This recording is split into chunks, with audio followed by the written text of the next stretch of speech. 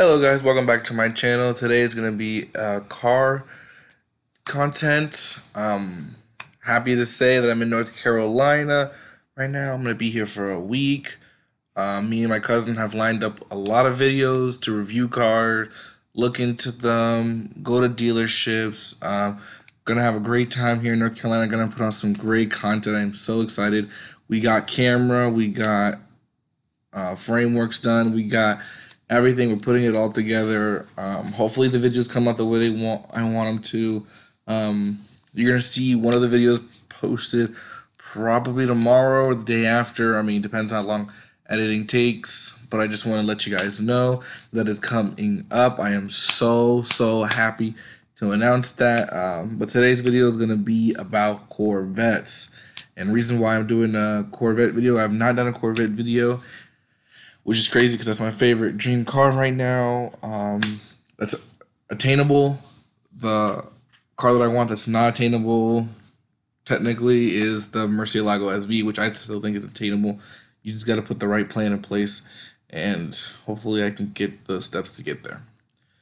But today is going to be about Corvettes. So, the first Corvette that really got me into it was a C7 generation. I know that's a generation that a lot of kids are going to say they got them into it. It's a generation that is polarizing. It got everybody that from the um, Corvettes before were usually older men, but now the C7 came out and it became an instant classic. Rappers wanted it, kids wanted it. It became like an icon car, and the Ford is thinking for Chevy is going to be a C8 mid-engine. We will see how that goes. Um, I still like the front engine more. That's always been my thing. I always thought it was a great idea um, to do a mid-engine, but as like a side, but have the main staple still be front engine. We'll see what Chevy decides to do on that front. Um, but I'm gonna start back to the C4 generation. That's a generation that uh, that I started after the C7 really liking and knowing about his history.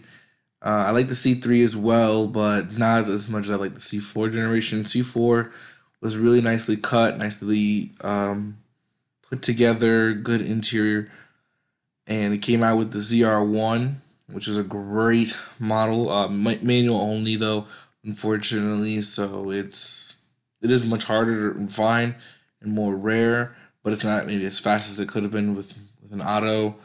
But the end of the day, it was more driver enthusiast, more driver focused. That's why it was made that way. Next generation C5 Corvette. C5 Corvette is a crazy series because everybody thought that they were gonna have a ZR1. They were they thought they could get a better version of the Z06. It never happened, unfortunately. The C5 generation is kind of one of those forgotten generations just because it only came really in the base or Z06 really, and that's really kind of what made it a bummer. Don't I'm not saying it's a terrible generation. I just feel like GM could have done more with that generation. The Z06 was a great handling car, as a great track weapon.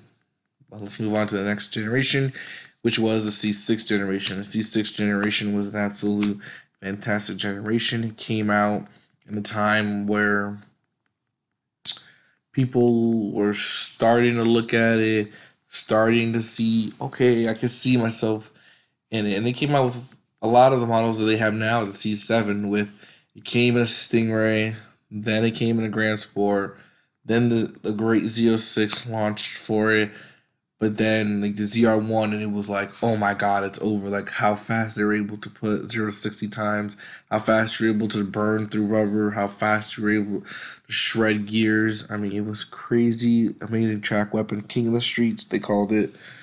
Or King of the Track, I'm sorry, they called it. And it was an absolute beast. And then the C7 came out and it absolutely improved on every single bit the C6 did. Gave it a 8 speed auto 2015 year and above. 2014 still had the six speed, but 2015 and above had the eight speed automatic, um, seven speed manual. It was super reliable, great everyday car. You're in the cruising form, which is a Stingray, and I would even say the Z51 package that came that you could get with it still was a pretty good cru- was still in the cruising section. When you moved up to the Grand Sport, you were you wanted a little bit more power and maybe take it out to the track, you know, for a little bit of track times, but definitely nothing you're gonna track on a daily basis. Maybe just a one-time track day, and mostly just king of the streets type of thing. Then the Z06 came out, 650 horsepower, 650 pound feet of torque, absolutely blew the lids right off everybody's mind because it started competing with supercars that level of performance, that level of numbers. Uh, Italian designs became really scared of this car and they really noticed that when the ZR ZR1 or the C4, but now come full circle with the C7 generation Z06 because it was competing with the likes of Ferraris, and Lamborghinis. It was able to keep up with even demons. Um, it was really able to put together a great package in a fiberglass car. Then the ZR1 came out and it absolutely can compete with any supercars. Doesn't even have a supercar price. It's under $130,000 you can get one. So that's another big bonus. A lot of these cars are going for over sticker though, which is unfortunate because GM really needs to regulate their dealers right now because the dealers are absolutely crazy because they keep charging them twenty thousand over sticker, which is crazy. Because I found one the other day that would I built. I saw that it was you could build it for 135,000 but they're charging 155,000 it has already 2,000 miles already used on it so I don't even understand why they're marketing it up that much. It's crazy. Definitely a car to get though. Uh, a lot of people like the manual more engaging, but I always thought the automatic would is still better. I would like for them to do a dual clutch as the next one, so it actually could be a direct competitor with these supercars. At this point now, it is a competitor, but a, the dual clutch makes those other cars even a little less, even with a little less horsepower still faster and better because of that dual clutch. The transmission is just unmatched. Um, and the power to weight ratio is, again, up in the air, especially with it being in the high 3000s.